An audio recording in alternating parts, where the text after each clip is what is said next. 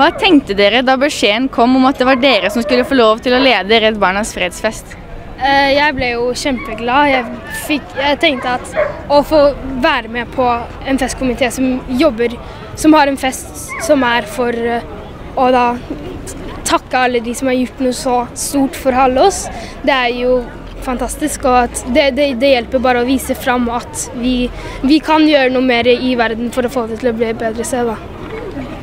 Eh, ja, fordi når læreren min sa det til meg, så ble jeg jo helt sykt glad. Eh, jeg tenkte sånn Å, herregud, jeg får bli med på dette her, fordi det her er jo bare én gang i livet som skjer. Og ja, som du ser, så har det blitt helt supert, og jeg er sykt glad. Hva var høydepunktet? Høydepunktet var vel sikkert når, når nobelprisvinnerne kom. Ja, jeg tenker også det samme også når eh, liksom de artistene kom og forskjellige tingene, og akkurat publikum, da. Hva er det mest spennende med å delta på noe som dette? Det er vel folkene, publikummet og eh, alle, all den energien som vi får for å gjøre det her. Da. Og, og å jobbe sammen med andre folk. Da.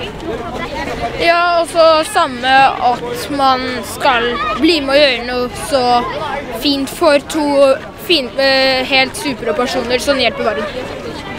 Hva synes dere om årets vinnere? Det er jo veldig fint at det var de som vant, at det var Nadia og, eh, og Dennis som vant. fordi de er, jo, de er jo to folk som jobber med noe veldig viktig. Som, og når det, er, når det er to sånn folk som jobber med eh, som, jobber med over, som jobber med overgrep, så er det jo fantastisk. For det viser at de i verden begynner å legge øyne, åpne øynene for, opp for det. Da. Og begynner å legge mer merke til at det er faktisk det som skjer her, og at vi må begynne å gjøre noe med det.